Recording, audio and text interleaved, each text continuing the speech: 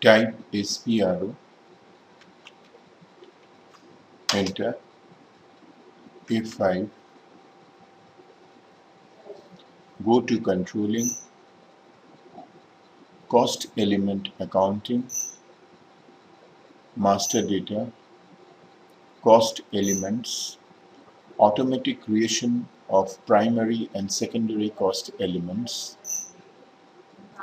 create batch input session execute controlling area COVD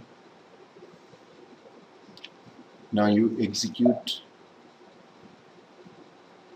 and here create batch input session to create cost elements. All have appeared these cost elements are created by processing batch input session SAP 0104 in the controlling area COVD for the validity period from 0104 2022 31st 12 9999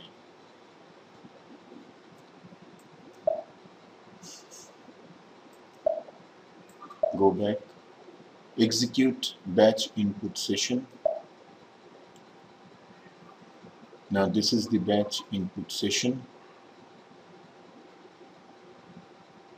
Go to process display errors export mode process.